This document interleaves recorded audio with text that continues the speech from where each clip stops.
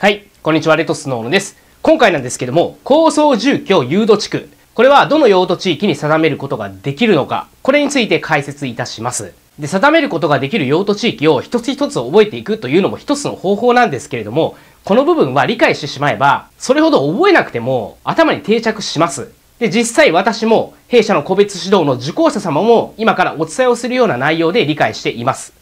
なので今回は特別にどうやって理解をするのか、これを無料でお伝えしたいと思います。で、これを理解するために何を頭に入れておかなきゃいけないのかというと、それは高層住居誘導地区がどのような地区かというところです。では、どのような地区なのか。それはここにも書いてある通り、通勤しやすくするための地区なんですね。大体職場っていうのは多くが商業地域だったり工業地域だったり工業専用地域に集まってるんですよ。まあ、商業地域っていうのは駅前だったりとかですね。で、工業地域や工業専用地域っていうのは、まあ、工場がたくさんあるところっていったイメージです。そこで働いてる人ってすごく多いじゃないですか。で、そういった人たちが住む家が遠いところにあると通勤不便ですよね。だから通勤しやすくするために商業地域や工業地域、工業専用地域の周辺に高層マンションを誘導して高層マンションを建てていく地区が高層住居誘導地区なんですね。なのでちょっとこちら見ていただきたいんですけども、ビルだったり工場があるような商業地域、工業地域、工業専用地域があります。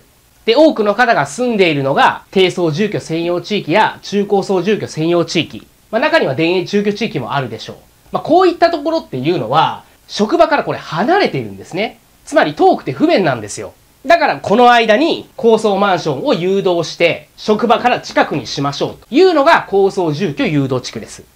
このように考えたら一つ一つ覚えなかったとしても答えって導けますよね。